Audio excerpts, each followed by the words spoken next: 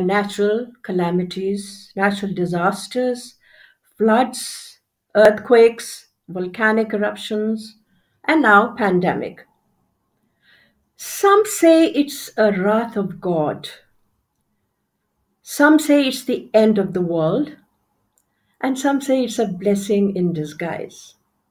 I would think it's a blessing in disguise because God is giving us time to reflect on our shortcomings and to try to overcome them, to prioritize us, to give quality time to the people, to your family, to your friends.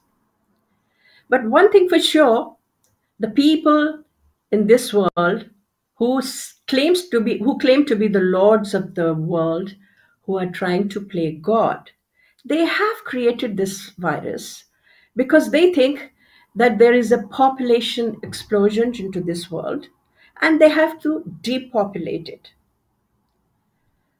They have killed millions of people, and millions are still suffering from this virus, and God only knows when we are going to get out of this. One thing for sure, it's not going to be the same same lifestyle as before. So we have to get used to this.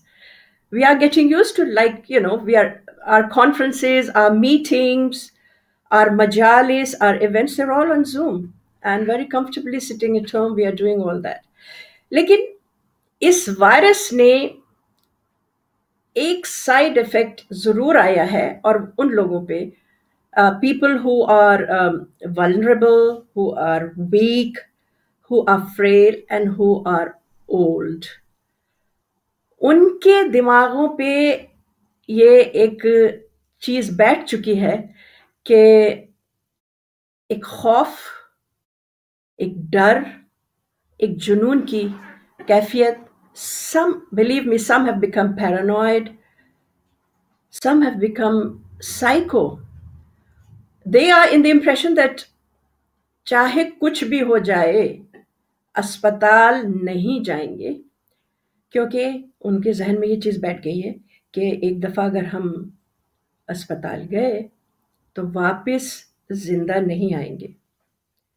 तो मैंने सोचा कि आज हम इस मौजू पे गुफ्तु करें कि what is the perception of Islam into this scenario यानी कि इस्लाम में साइकोलॉजी स्पिरिचुअल साइकोलॉजी या इस्लाम नफ्सियात को हम किस तरह लेते हैं?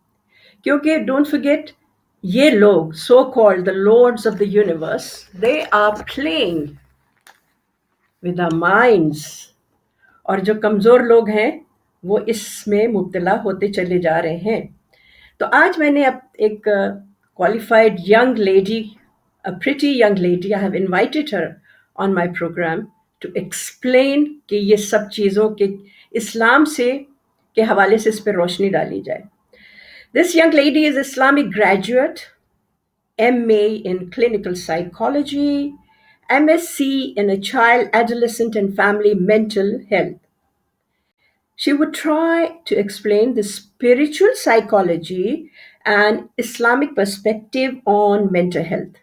तो चलिए आज हम आपकी अपनी प्यारी सी पहली दफ़ा हमारे प्रोग्राम में आ रही है मेहमान वारिसा जैनब से मुलाकात करवाते वारिसा वारिसा अस्सलाम वालेकुम। वालेकुम अस्सलाम जी। जनाब वाला आपका मैंने तारुफ करा दिया है लेकिन अब आपने मुझे बल्कि हमारे व्यूअर्स को बताना है कि ज़ाहिर नफ्सियात तो मुझे पत, मतलब हम सबको पता है कि ज़िंदगी का एक हिस्सा है part of our life is नफ्सी नफ्सियात यानी जो हम सोचते हैं इसके बगैर तो इंसान बेकारी है ठीक है ना? लेकिन आप बताएँ कि इस्लाम के पॉइंट ऑफ़ व्यू से नफ्सियात से आपकी क्या मुराद है वारिसा देखिए ये जो लफ्ज है नफ्सियात ये बना है अरबिक का जो लफ्ज़ है नफ्स से और इसका ज़ारहा कुरान करीम में भी मौजूद है। इसके अलावा अगर आप आयमा अथार सलाम की ज़िंदगी का जायज़ा लें तो उसमें भी बेशक ऐसी हदीस जिसमें इंसानी नफ्सियात का ज़िक्र है हमारे बिहेवियर का हमारी सोच समझ अकल शूर इन इन बातों का तस्करा। क्योंकि इस तरह से आपका जो है वो अपने ही अंदर कई चीज़ों को समेटा हुआ है जिसके बगैर आपका ज़िंदा रहना नामुमकिन है।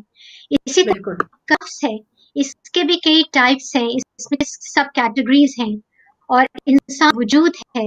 उसमें नफ्स, अकल, रूह और कल्ब। ये चार इंसान का वजूद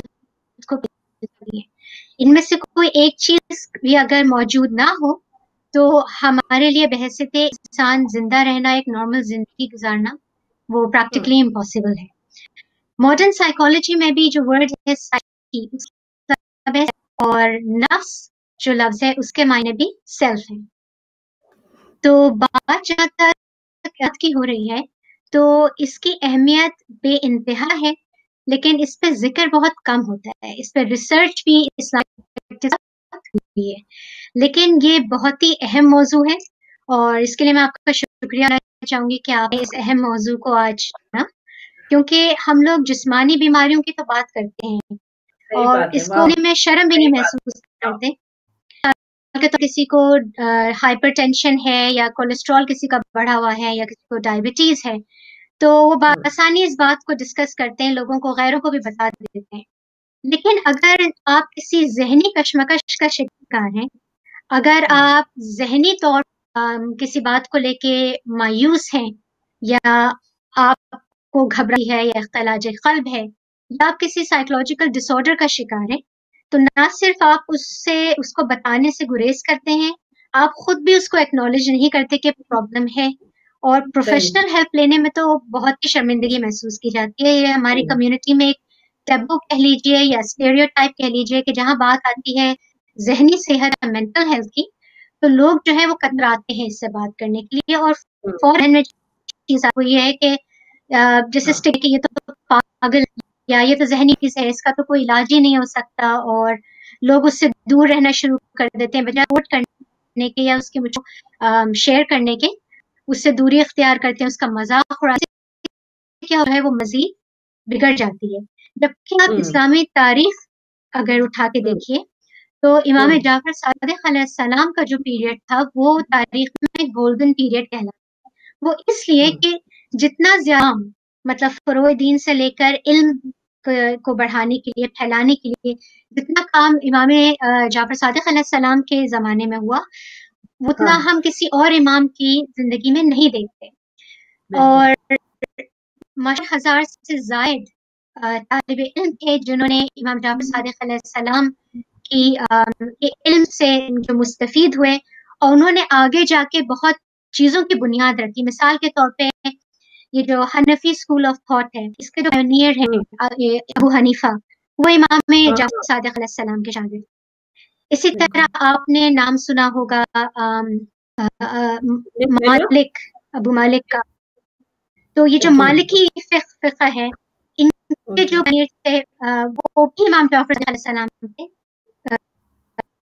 तो वो जो दौर था उसमें बे इंतहा मतलब इल्म जो है वो फैला है। और वो इल्म जो था महज फ़िक तफसीर कुरान हदीस या बल्कि हम्म। नफ्सियाती मसाइल पे भी बहुत डिस्कशन हुआ आ, इमामों ने इंसानी नात पे रूह पे कल्ब पे आ, आ, नफ्स पे मतलब हम्म। कुछ हम्म। बल्कि उनके शागिर्दों ने कई हज़ारों किताब इस टॉपिक पे लिखी है लेकिन हाँ। हमारा अलमिया ये है कि हमारे यहाँ इस पे इतनी हुई हम्म। मौजूद है उस पे मतलब इतनी तहकीक नहीं हुई उसकी ट्रांसलेशन दूसरी लैंग्वेज इतना नहीं लेकिन ना इस्लाम ने कंप्लीटली नफ्सियात पे मतलब बात की है मुझे नहीं लगता कि किसी और मज़हब में उसको इतना डीपली डिफाइन किया गया हो और कुरान हाँ। में जैसे मैंने आपसे ज़िक्र किया कि बेशुमार आए हैं जैसे नफ्स की बात हुई और नफ्स के टाइप्स की बात है। जो कि आज मॉडर्न साइकोलॉजी कहती है कि the psyche is divide three categories the id the ego and the super ego जो आज के दौर में होता है आपको ईगो का ईगो एंड सुपर टर्मिनोलॉजी इसकी डेफिनेशन बताइए आना आना एक अलग चीज़ है। सुपर ईगो क्या होगा भाई? किसका होगा ये सुपर ईगो माय गॉड अल्लाह के अलावा किसके ऊपर हर हर इंसान का। देखिए एट ईगो और सुपर ईगो तीनों चीज़ हर इंसान के पास हर इंसान में मौजूद है। किसी में एक जो है वो हाईएस्ट लेवल पे होगा ईगो नीचे किसी सुपर ईगो का लेवल होगा और एक फॉर एग्जांपल जो होगा। जब आप इसमें मतलब बात करते हैं तो उसमें नफ्स नफ्स लवामा और नफ्स मुतमाइना की बात हम्म। करते हैं। और नफ्स मुतमाइना के बारे में भी कुरान में आयत मौजूद है।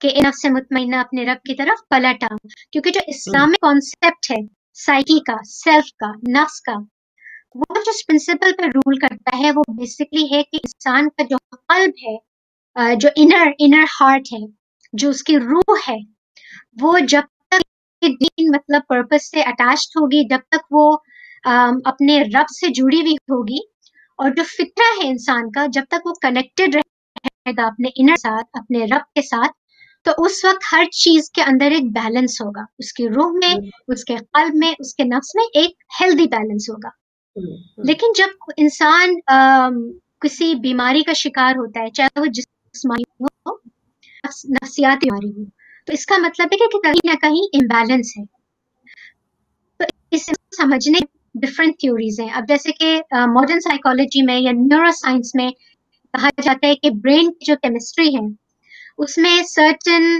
केमिकल्स होते हैं जिनके इम्बैलेंस के इंसान को साइकोसिस में चला जाता है या न्यूरोटिसिज्म की तरफ़ चला जाता है। या तो उसको जुनूनियास की बीमारी हो जाती है डिप्रेशन की बीमारी।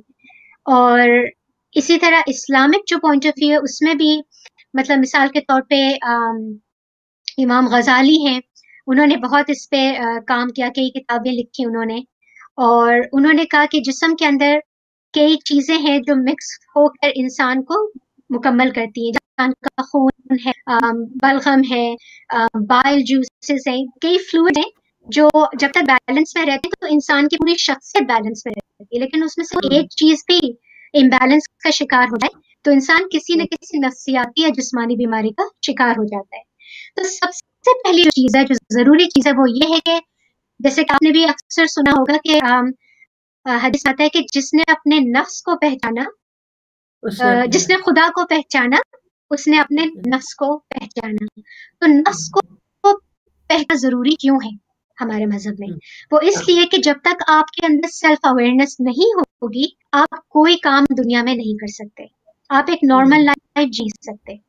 अगर आपको एक नॉर्मल हेल्थी ज़िंदगी गुजारनी है तो उसके लिए सबसे ज़रूरी है सेल्फ एनालिसिस सेल्फ क्रिटिसिज्म ज़रूरी है। और आपका जो ये नफ्स से लवामा है ये क्या किरदार अदा करता है? वो आपको बताता है कि क्या सही है क्या गलत है। ये एक मोरल प्रिंसिपल के ऊपर बेस्ड है। हम्म।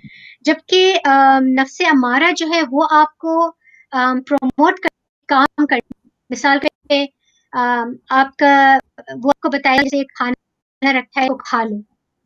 ये तुम्हारे लिए सही है या सही नहीं है? भूख लगी है खा लो तो ये पी लो। लेकिन फिर आपका नफ्स लवामा आपको बताएगा कि ये हलाल है तो खाओ हराम है तो मत खाओ। तो हम अक्सर ज़मीर को भी इससे थोड़ा सा कंफ्यूज कर लेते हैं कि ज़मीर की आवाज़। ये जो इनर हम्म। आपका सेल्फ है यही आपको मोटिवेट करता है आम, हाँ। अच्छे काम करने के लिए और बुरा रुक जाइए।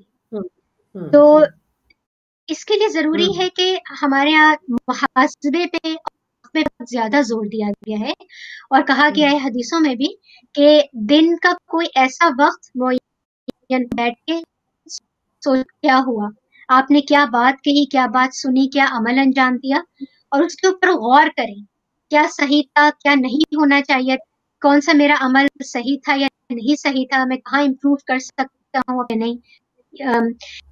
इसी मुहासबा और मुराखबा भी ज़रूरी है कि सोने से पहले आप अपना जाने। हम लोग दूसरों में तो तनकीद करने से बिल्कुल गुरेज नहीं करते। हम्म।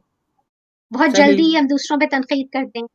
लेकिन अपने तनकीद करना सबसे मुश्किल काम होता है। इट्स वेरी डिफ़िकल्ट और अक्सर ये होता है कि अगर कोई चीज़ गलत हो जाए तो हम जो डिफेंस मैकेनिज्म यूज़ करते हैं वो है प्रोजेक्शन ब्लेम कर देना। ठीक है? सही बात इसी तरह इस्लाम में भी है कि दूसरों को जिम्मेदार ठहराने से पहले अपने नफ्स का जायजा लो। और हमारे हमारे यहाँ हम्म, सबसे बड़ी जो हमारे लिए सादत है खुश नसीबी है बहसियत शियान हैदर करार वो ये है कि हमें जजाना कि अल्लाह ने इन इमामों की शक्ल में जो कि खुजर खुदा हम्म, हैं क्योंकि खुदा को हम्म, पहचानने के लिए हमें कुछ ऐसी चीज़ की ज़रूरत थी जो हमें खुदा तक ले जाए। इसीलिए इमाम इमा, आइमा अतार को अल्लाह ने हुज्जत खुदा बना के इस सरजमीन पे भेजा। अब इमाम इमामों को देख कर अल्लाह को पहचाना। अगर इमाम ना होते रसूल वसल्लम की ना होती तो महज कुरान तो हमारे लिए काफ़ी नहीं था। हम अल्लाह तक नहीं पहुँच सकते थे नहीं समझ सकते थे क्योंकि हमारा इतना शऊर नहीं है। तो इमाम इमामों के बताए हुए रास्ते से ही हम लोग समझ सकते हैं कि ज़िंदगी को नॉर्मल कैसे गुजारना है।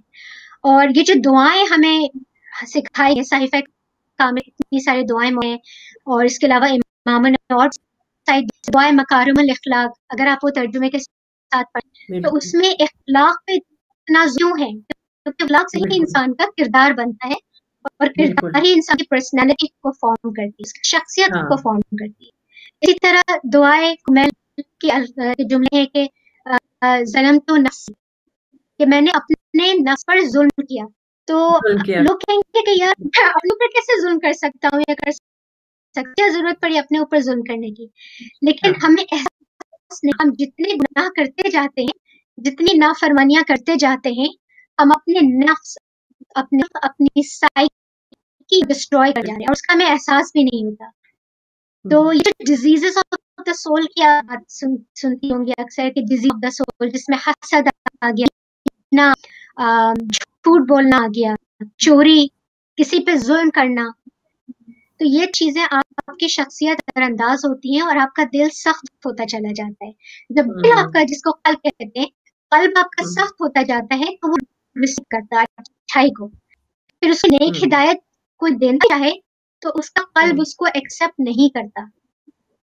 तो अगर आप चाहते हैं आपके अंदर पॉजिटिव चेंजेस आए और आपका हम्म, कनेक्शन आपके रब के साथ स्ट्रांग हो तो उसके लिए you hmm, have to be receptive you have to be open to criticism you have to self analyse do a lot of contemplation and reflection हम लोग हम्म, अक्सर uh, चीज़ों पे करने के बजाय मसले मसाइल को हम लोग क्या करते हैं कॉग्निटिव अवॉइडेंस का एक uh, हम्म, यानी टेंशन को डाइवर्ट कर देते उस पर बात नहीं करते, उस मसले पे गौर नहीं करते और अपना जायजा तो बिल्कुल भी नहीं लेते। बहुत कम होता है कि हम एक्सेप्ट करें एक्नॉलेज हमारे साथ कोई प्रॉब्लम है। और प्रोफेशनल देने में तो बिल्कुल भी मतलब लोग झिझकते हैं, शर्मिंदगी अगर कोई इन्फेक्शन बॉडी में हो जाए या जुकाम या नजला खांसी तो उसके लिए तो फ़ौरन दवाई भी ढूंढते हैं। बेहतरीन से नॉलेज का भी करते हैं। लेकिन जब बात होती है रूहानी इंसियाती इमराज की तो ना हम परहेज करते हैं, ना हम उस पर बात करना चाहते हैं हेल्प सी करना चाहते हैं।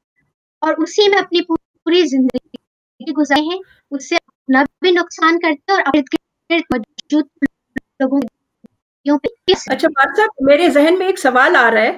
वो ये है कि ये चीज़ सिर्फ़ हम अभी तो हम इस्लामिक पॉइंट ऑफ़ व्यू से ये बहस कर रहे हैं, है ना गुफ्तो शुनीद हो रही लेकिन ये जो कैफियत तुम बता रही हो नफ्स के, कि हम लोग यू नो नो अवॉइड करते हैं maybe it become it has become a taboo to talk about your mental condition और your families anybody who is suffering from that kind of delusion और जो भी है। ये सिर्फ़ हम लोगों में नहीं है बल्कि तो और भी जितने भी अदर क्या कहते हैं कम्युनिटीज हैं या डिफरेंट मजाहब हैं उनमें भी यही कैफियत है।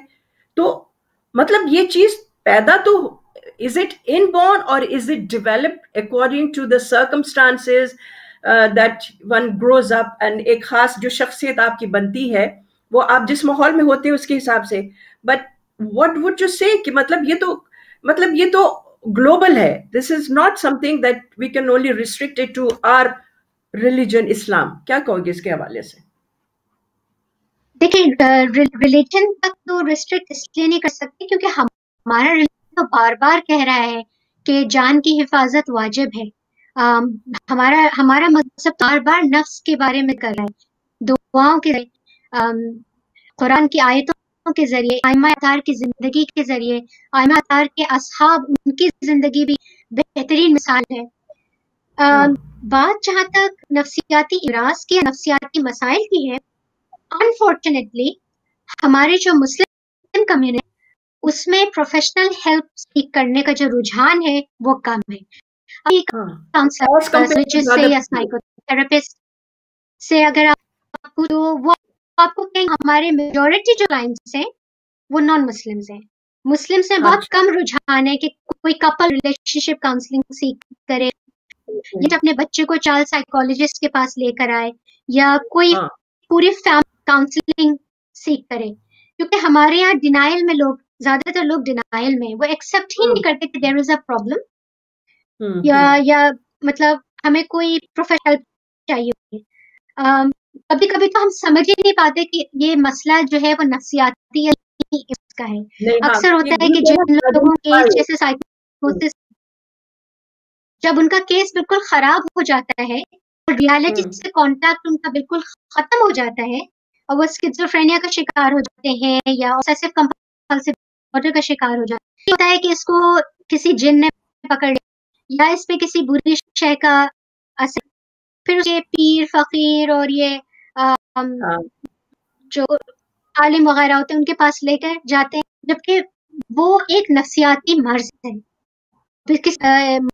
मर्ज का भी इलाज उसकी भी दवाएँ हम्म, ट्रीटमेंट है। लेकिन हम से बाहर निकलते ही नहीं हाँ। Want to think outside the मतलब हमारा मतलब बार बार क्या अपने नफ्स को पहचानो। नफ्स से मुतमईना जो है वो बेहतरीन नफ्स है। और हमने किसी मक के लिए खल किया है। अ, हमारे यहाँ बेशुमार एडवाइस दी गई। यहाँ तक कि हमारे मज़हब में ये तक बताया गया कि क्या चीज़ खाओ और क्या चीज़ खाओ तो ये जो खाने और पीने की चीज़ों पर इतना है इतना स्ट्रेस है आज तक लोग उस पे गौर करते क्यों है? हदीस में मौजूद है कि आपका जो पेट का मैदा है वो हर बीमारी का जड़ है और उसके हाँ, बारे में मौजूद है कि अपने अपने को जानवरों ना बनाओ। यानी कि हमें जो डाइट बताई गई है preferably it should be vegetarian diet तो लेकिन इस्तेमाल करें। लेकिन हमारे आप। देखते हैं कि कुछ लोग हैं जो बहुत मीट ईटर्स हैं या अपनी डाइट जो है बिल्कुल उनकी अनहेल्दी डाइट है। तो उससे डायरेक्ट उनकी पर्सनालिटी पे, उनके माइंड पे उसका इफ़ेक्ट हम्म, रहता है। और हम्म, एक सेहतमंद जो जहन एक सेहतमंद दिमाग है वो उससे हम्म, ही एक सेहतमंद जिस्म पैदा हाँ, क्योंकि जब जहनी हाँ। तौर पे किसी कश्मकश का शिकार होंगे अपनी में तो उससे आपकी ईटिंग इफ़ेक्ट होती है। या तो आप ज़्यादा खाना शुरू कर देते हैं या आपकी भूख बिल्कुल खत्म हो जाती है। कुछ लोगों की नींदें उड़ जाती है पूरी पूरी रात गुजारते हैं कहते हैं नींद का शिकार है। और कुछ लोगों की बारह घंटे चौदह घंटे भी नींद पूरी नहीं होती उनके सोने के बावजूद। तो आपकी जो हाँ। ईटिंग हैबिट्स हैं उसका इफ़ेक्ट डायरेक्ट आपकी मेंटल हेल्थ पे होता है। तो आपके अंदर लाइफ आपकी लाइफस्टाइल में पॉजिटिव चेंजेस नहीं होंगी। तो आपका फ़िज़िकल और मेंटल हेल्थ दोनों उससे मुतासर होगा। हाँ। ठीक है बहुत बहुत उम्दा और बड़ी इन्फॉर्मेटिव तुम बातें बता रही हो वारसा जीती रहो। मुझे अब ये बताओ कि कमिंग बैक टू दिस डर खौफ और जो फिर जुनून की जो उसमें आ जाते हैं ये क्या पहले सौ साल पहले भी ये कैफियत होती थी? मतलब क्योंकि उस जमाने में I mean like people were living in stone age और उसके बाद एक बड़ी सादा ज़िंदगी होती थी। ये सारी चीज़ें जो कह रहे हैं ना डर खौफ जुनून ये सब हालात के हिसाब से होता है। तो क्या उस जमाने में यानी कि सौ साल से पहले भी क्या ये कैफियत होती थी? सौ साल क्या जब से इंसान की खलकत हुई है, जब से इंसान का वजूद इस दुनिया में आया है, इंसान के जिस्म, जिसको जस्त कहते हैं, उसके वजूद से 2000 कबल इंसान का नफ्स जो है, वो अल्लाह ने पैदा कर दिया था। और जो डिजीजेस ऑफ़ द सोल है मैंने एक एग्जांपल दी, हसद आ गया, उसमें जेलसी आ गई तकब्बुर आ गया। हम्म, हज़रत आदम अलैहिस्सलाम से ही मतलब इस चीज़ों का आप देखते हैं कि जब हज़रत आदम हज़रत हवा की हलकत हुई तो किस तरह से शैतान ने के कान में वसवस से फिर उनसे उनके थॉट प्रोसेस से वो अमल किया जो उनको नहीं करना चाहिए था फिर उसका इम्पैक्ट हज़रत आदम पे हुआ। फिर आदम बेटे भी कत्ल किया। सगे भाई। तो वो तो मतलब जब से इंसान की हरकत हुई उस वक्त से ही ये प्रॉब्लम्स ये मसाइल ये बीमारियाँ शुरू हुई हैं। ये तो it's part of our existence और हाँ। इसी चौदह सौ साल पहले कलाम ने जो अपनी ज़िंदगी से जो चीज़ प्रूफ की उसको बर्दाश्त ना जुल्म आवाज़ उठाओ। क्योंकि इससे बहुत मेजर डैमेज होता है सुसाइड नेशन तो ये जो उनका कहना है कि अल्लाह ने इंसान को आज़ाद किया है इसलिए be free from tyranny be free from operation तो हर इमाम ने इस पे ज़ोर डाला है। तो ये आपने जैसे कि सवाल किया कि ये पैदा होता है या इन्वायरमेंट की वजह से इन्वायरमेंटल फैक्टर्स की वजह से? हम्म। तो इसका हाँ। जवाब है कि दोनों होती हैं।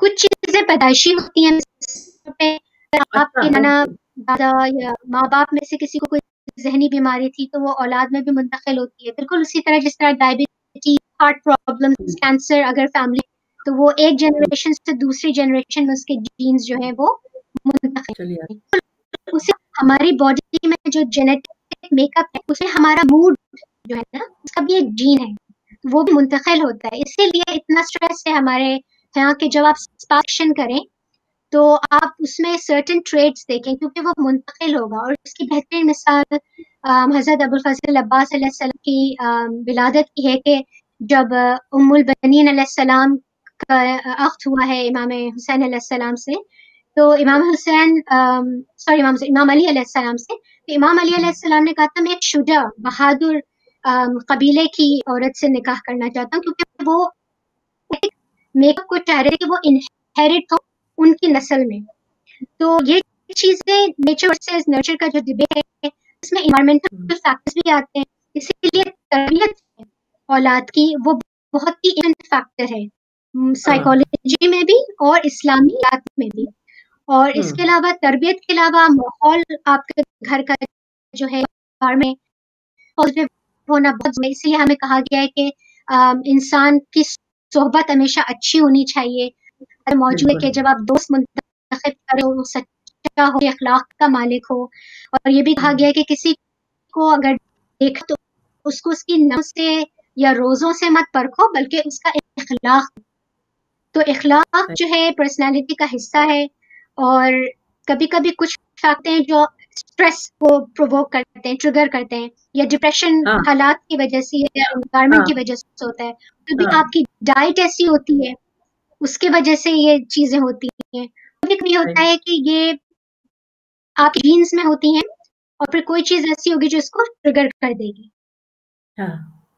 कभी कभी होता है कि ज़िंदगी में होने वाले हादसा ये आपके माइंड में मेजर चेंजेस करते हैं आपकी ब्रेन केमिस्ट्री को चेंज कर देते हैं जिसको हम ट्रॉमा का हाँ. नाम देते हैं trauma has a great on a person mind तो हो सकता हाँ. है अब जैसे अभी लॉकडाउन की मैं मिसाल आपको दूँ कि बहुत से लोग जिनको कभी ज़िंदगी में पहले कभी कोई नफसियाती प्रॉब्लम नहीं हुई कोई मेंटल इलनेस नहीं थी कोई साइकोलॉजिकल प्रॉब्लम हम्म। नहीं था लेकिन लॉकडाउन हम्म। के बाद अब उनके अंदर एंजाइटी भी डिप्रेशन भी वो सुसाइडल हो गए बहुत हाँ। से ड्यूरेशन है जो सेल्फ हार्म प्रैक्टिस कर रही है तो हालात से भी आपके जहन पे असर पड़े और बहुत से दूसरे फैक्टर्स भी हैं जो इस चीज़ को कंट्रीब्यूट करें लेकिन ये आपने सवाल किया कि क्या ये सिर्फ़ अभी है या हमेशा से? और बात है कि ये हमेशा से था। लोग अप्रोच करते थे हमारे महल बैतम को अपने थे हम्म। एक शख्स हम्म। अमीर मोमिन से उसने सवाल किया कि मौला इस मसले को लेकर बहुत ज़्यादा परेशान हो स्ट्रेस कह लें कह लें तो मौला ने उस शख्स से कहा कि जब तुम इस दुनिया में आए थे तो क्या इस मसले के साथ आए थे? तो उस शख्स ने कहा नहीं। तो मौला ने कहा जब तुम इस दुनिया से जाओगे तो क्या इस मसले को अपने साथ लेके जाओगे? तो उस शख्स ने कहा नहीं। तो मौला ने कहा तो फिर तुम क्यों परेशान होते हो? तो हमारे यहाँ जो फेथ पे इतना एम्फोसिस है to have a strong faith to have a strong connection तवक्कुल का जो लफ्ज है वो क्या है? To have that trust to have that यकीन हाँ। one who makes possible possible. This is why faith plays a major role in our hmm um, mental health. आप देखेंगे कि हम्म, हम्म। बहुत से लोग हैं जो आ, मरते मरते बच गए। क्योंकि they had faith they had faith in the creator and they had faith and believe in themselves कि दे विल फाइट इट तो रेजिलियंस हम्म। जो है वो भी बहुत इम्पोर्टेंट है इंसानी जहनी सेहत के लिए। आप देखेंगे कि जो माली है जैसे इराक है यमन है सीरिया वगैरह है जहाँ पे के है उसके बावजूद आप अक्सर देखते होंगे जब आप ज़ियारतों पे जाते होंगे आप लोगों से जब मिलते हैं इन सब प्रॉब्लम के बावजूद they are so hospitable they are so welcoming they still have a yeah smile on their face I true wonder like how, how do you go on despite everything that has happened you've lost your loved one you've lost your house you've lost everything yeah and you that's still have a amazing smile on your face हाँ and the I love it response is we have example of Jabal sabr mountain of patience Sayyidah Zainab Salamullah alayha. we have हाँ example of um, Hazrat Abul Fazl Abbas कि एक बाजू yes खाने के बावजूद he didn't give up, he continued his journey मालूम हो गया क्या he बात still continued he didn't give up not give up to keep moving on to not lose hope to not um, health इस पे इतना ज़ोर इस वजह से दिया है क्योंकि जितनी नफसियाती बीमारियाँ चाहे वो डिप्रेशन हो चाहे वो हम्म। एंजाइटी हो क्रोनिक एंजाइटी हम्म। या ऑब्सेसिव डिसऑर्डर्स हो हम्म। इनकी हम्म। जो बुनियाद है वो है मायूसी। हमारे यहाँ क्यों कहा गया है मायूसी? कुफर है। कुफर is a really big term to use for something like मायूसी। वो इसलिए क्योंकि ये बुनियाद है। खुदकुशी हम्म की ये बुनियाद है किसी और के कत्ल की ये बुनियाद है अपनी ज़िंदगी पे हम्म। गिव अप करने की किसी और की ज़िंदगी में प्रॉब्लम्स क्रिएट करने की। हम्म इसलिए हमें हम्म उम्मीद हम्म। का दामन हम्म। And our faith is there to give us that boost that confidence that resilience जो हम्म। हमारे सामने इतने सारे एग्जांपल्स मौजूद हैं की कि उनकी ज़िंदगी में शायद ही कोई ऐसा दिन हो जब कोई इम्तिहान या आजमाइश ना सिर्फ़ हाँ अहले बैत अलैहिस्सलाम बल्कि एक लाख चौबीस हज़ार पैगंबर हज़रत आदम से लेके रसूल खुदा सल्लल्लाहु अलैहि वसल्लम तक की आप ज़िंदगी को दीजिए। कोई ऐसा पैगंबर नहीं है जिसके पास कोई टेस्ट ना आया हो इम्तिहान ना आया हो या उसको कोई लॉस ना हो।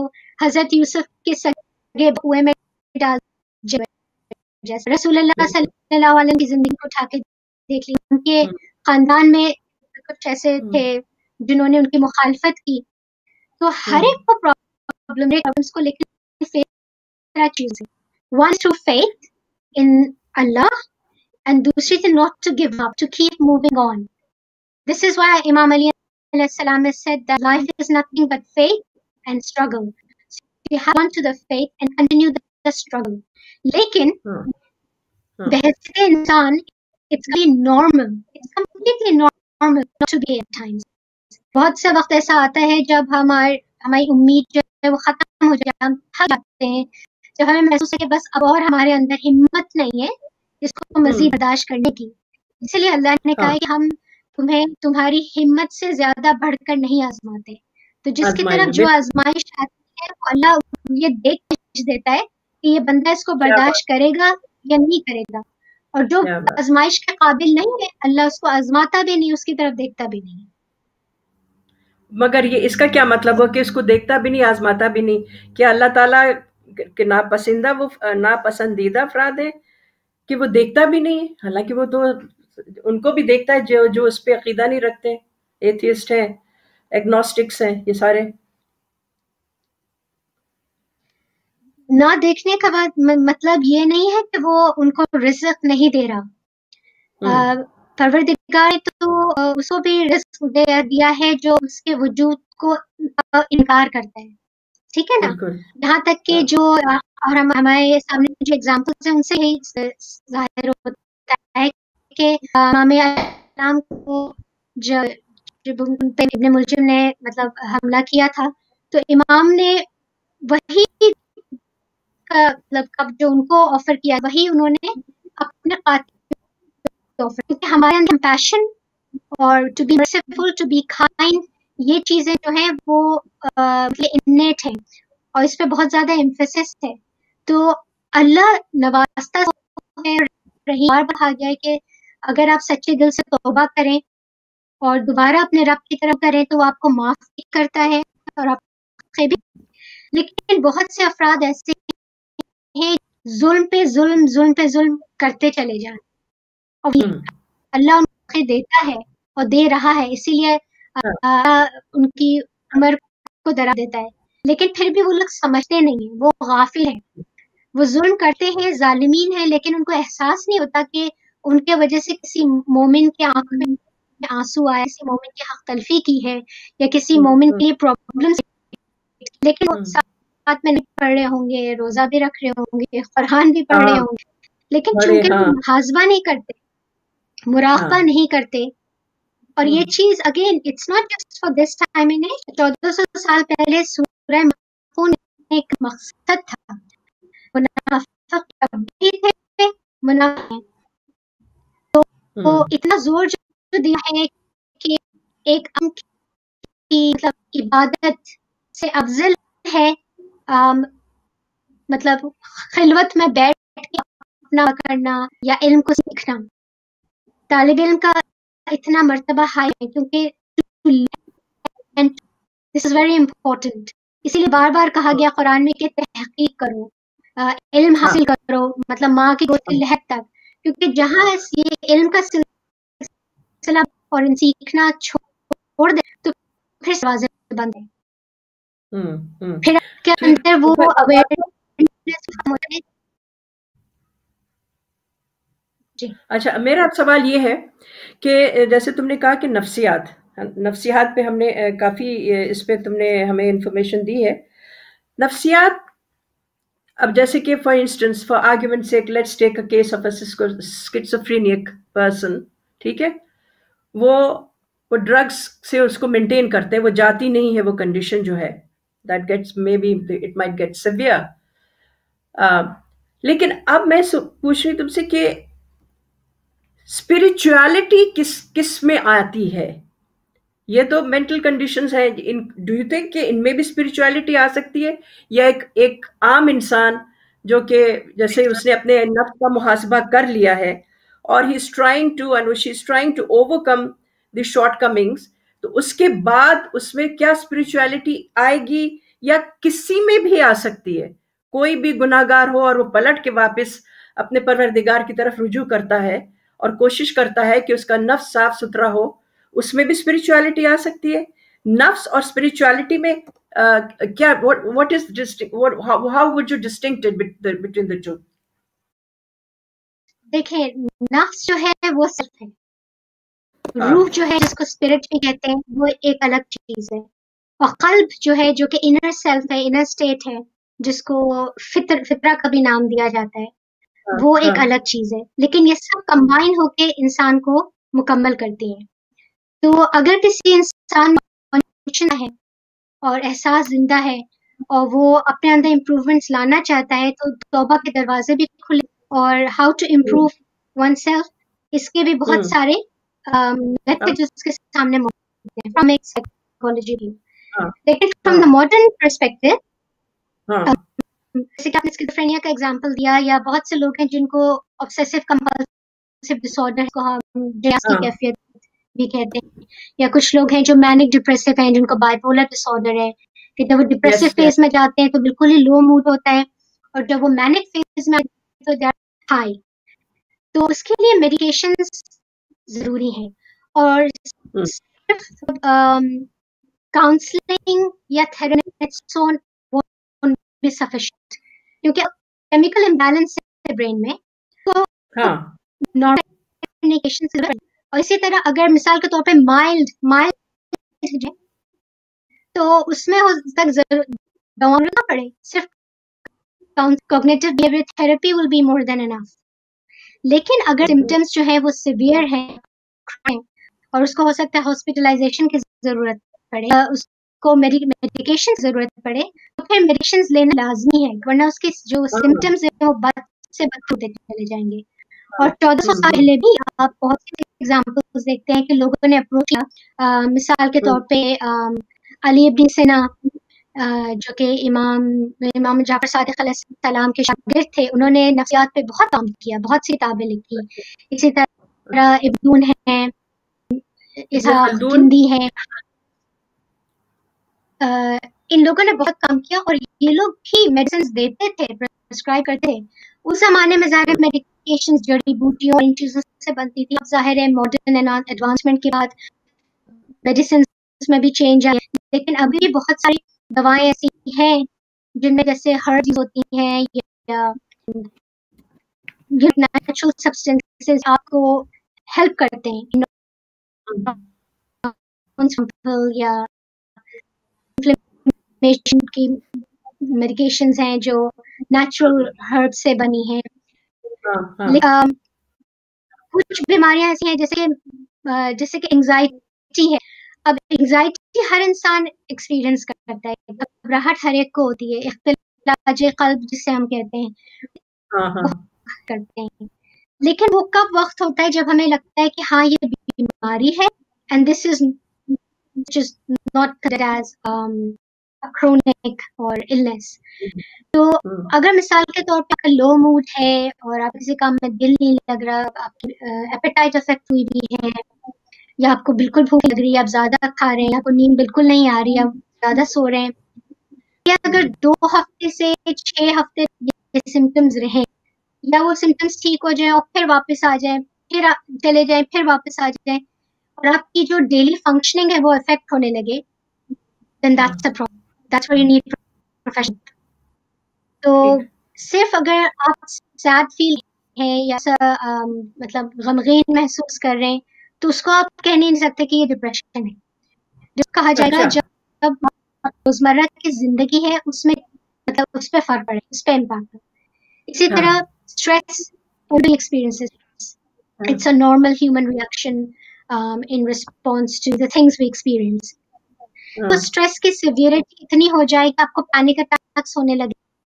आपके हाथ कोलैप्स कर जाए नम हो जाए और आप काम करना चाह रहे हो वो काम ही नहीं कराएँ then that's when you need professional help anxiety का भी है ये थोड़ी बहुत घबराहट तो सबको होती है लेकिन ये अगर घबराहट आपको हर वक्त रही है और इसके वजह से आप अपना कोई काम नहीं कर पा रहे आपकी फैमिली लाइफ अफेक्ट हो रही है प्रोफेशनल लाइफ अफेक्ट हो रही है तो फिर this is this is like a problem which needs to be addressed by a professional तो count therapy and there different types of therapy बल्कि um, अगर आप तारीख में तो um, मिसाल के तौर पे um, इब्न सिना जो थे उन्होंने बहुत सारी थेरेपी वो कराई।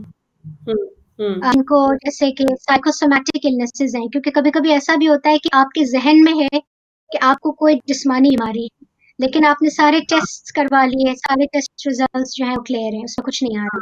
हाँ। आपको मतलब ये इसकी वजह Varsha psychosomatic I know person that's why I am asking what are the of this psychosomatic और इसके मतलब इंडिकेशंस uh, क्या होते हैं?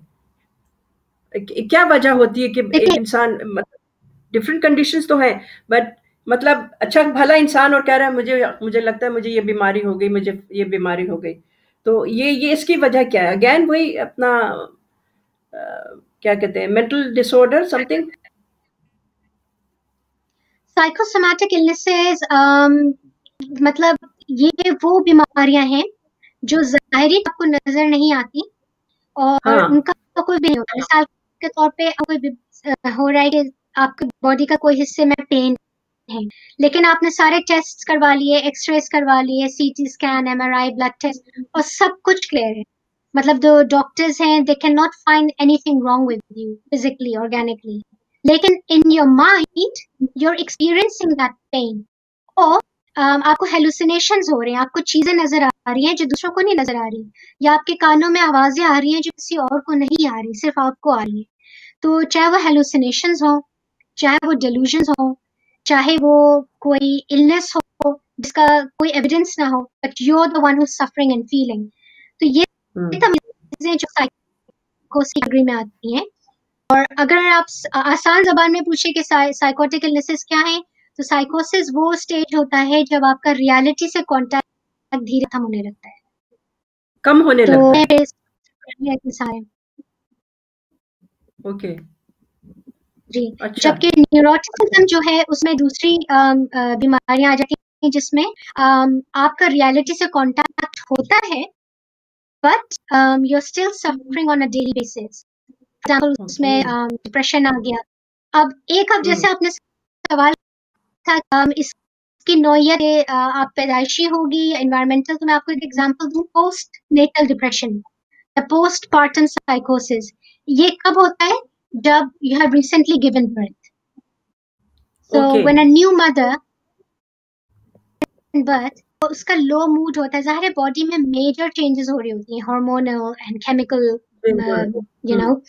Reactions in the brain आप पे बहुत गहरा मतलब इफ़ेक्ट होता है और अगर आपका मूड इफ़ेक्ट हो रहा है तो उसका बिहेवियर भी affect होगा तो अगर। पोस्ट डिप्रेशन जैसे काफ़ी कॉमन है औरतों में तो अगर उस वक्त उनका सही ट्रीटमेंट नहीं हो और उनको वो मतलब जो मतलब अटेंशन है जो उन्हें चाहिए वो नहीं ले तो फिर वो पोस्टमार्टम हम्म। साइकोसिस की शक्ल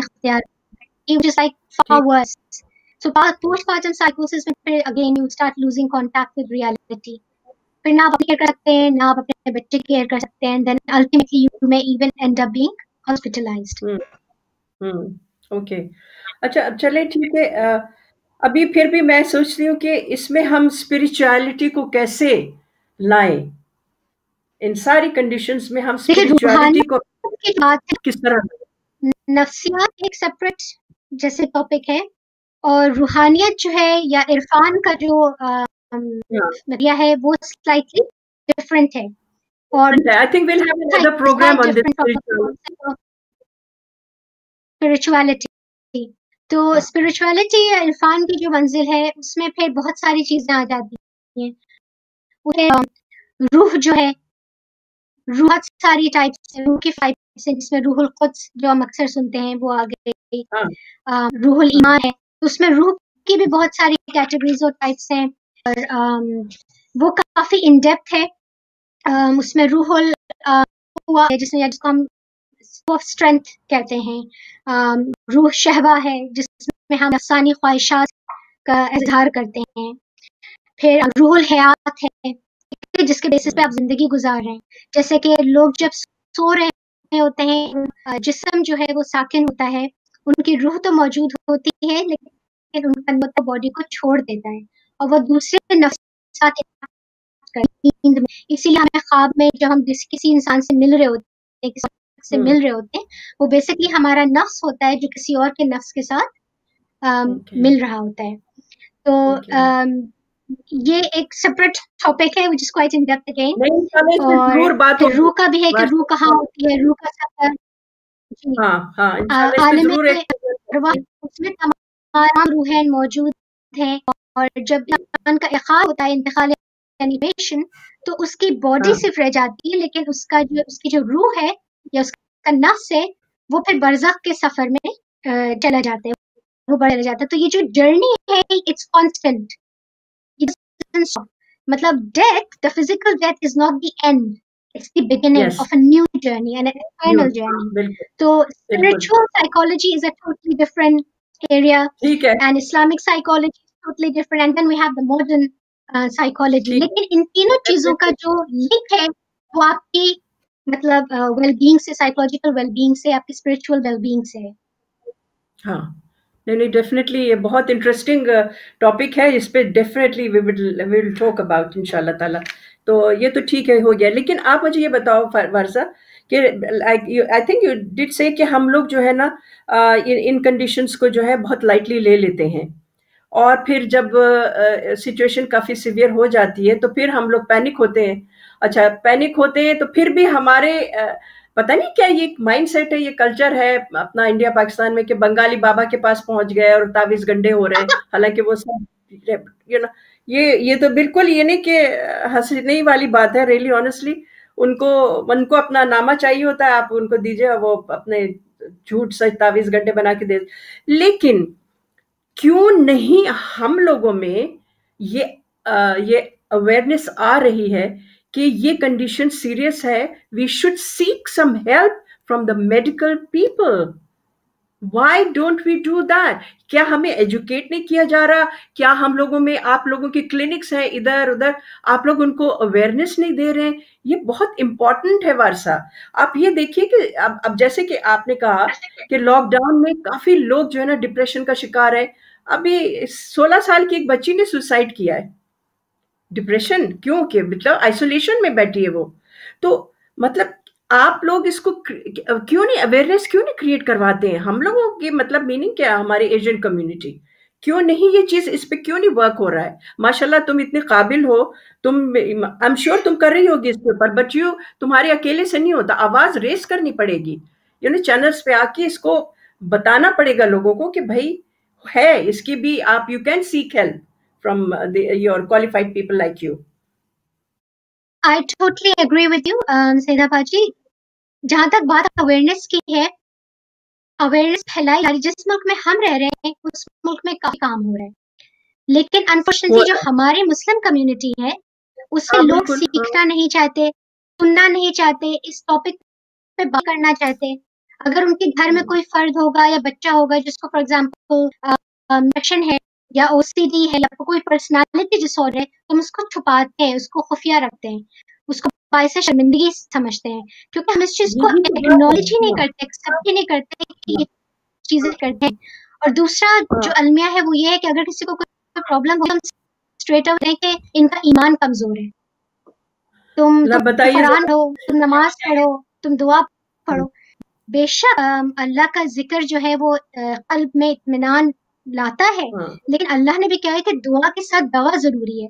अगर हम दवा ने इजना हम दुआ करें कि हमारा कैंसर या हमारा बाईपास ना हो हमारा हार्ट खुद ब खुद ठीक तो ये हाँ। मतलब सोच है। क्योंकि दवा दवा। दोनों चीज़ें और हमारे उलमाए कराम की ज़िम्मेदारी है कि जब वो मेंबर पहुंचाते हैं तो वो बहुत सारी चीज़ें तो उन्हें इंसान बात करना चाहिए। जी। अब मिसाल के तौर पे हर शब जुमा हमारे सेंटर्स में दुआ कुमैल होती है और हम लोग रो रो के हाथ बुलंद करके कहते हैं जलम तो नफसी जलम तो नफसी। लेकिन कोई ये नहीं समझाता कि ये नफ्स है ये कौन सा नफ्स है जिसपे हम जुल्म कर रहे हो ये किस किस्म का जुल्म है? तो अवेयरनेस क्रिएट प्लेटफॉर्म पे कुछ ना कुछ प्रोग्राम होना है। Really grateful to channel considering taking this on board. इसी तरह चैनल इस पर करे इस पर बात करें और लोग अपनी सोच को जरा इसको महदूद ना करें। और हाँ, हाँ. जितना ज़्यादा हम इस पे बात हाँ। करेंगे उतना ज़्यादा फिर लोग खुल के सामने आएँगे। हाँ हाँ हाँ। बिल्कुल सही कह रही हूँ। बिल्कुल सही कह रही हूँ माशाल्लाह। बस अब मैं I would like to have your final thought on this क्योंकि now we have to close the program time खत्म हो रहा है तो give me your final thought please Varsha मैं बस सीखूँगी कि जिस तरह अपनी बॉडी की देखभाल करते हैं हमारी खातन अपनी स्किन की और बालों की इतनी फ़िक्र करती हैं तो what lies beneath your skin and what also matters. Mind matters, mental health matters. Hmm. A healthy is a healthy mind and a healthy mind is a healthy body. हाँ, आप एक हाँ. ही uh, मतलब एक की हिफाजत करेंगे और दूसरे को निगलेक्ट करेंगे तो ये इस तरह से काम नहीं चलेगा and don't feel that you're alone you're not alone. There are plenty of organizations out there जो इस पे काम कर रही हैं. They are there to support you for free. अगर आप अपने जीपी से भी ज़िक्र करें तो आप जीपी आप करेंगे for a professional um, psychotherapist uh, or counselor. Um, और अगर आप मतलब उनको नहीं अप्रोच कोच को भी अप्रोच कर सकते हैं अब तो आजकल स्काइप पे सेशन हो रहे हैं there plenty of Muslim faith based mental health organisations मिसाल के तौर पे सकू is an Zamzam Counseling is an organization. Then we have Achha. Inspirited Minds, which is a faith-based mental health charity. So help us out there that find a little bit of awareness. We just need to accept it. Thank you so much Varsha it has been pleasure talking to you और माशाल्लाह तुमने जो भी हमें information दी है something really beneficial to I hope कि सुनने वालों को भी uh, इससे कुछ फ़ायदा होगा इनशाला I am going to invite you once again and will take it from there thank you Saeeda reuse को इजाज़त दीजिए. टिल नेक्स्ट टाइम खुदा हाफिज़.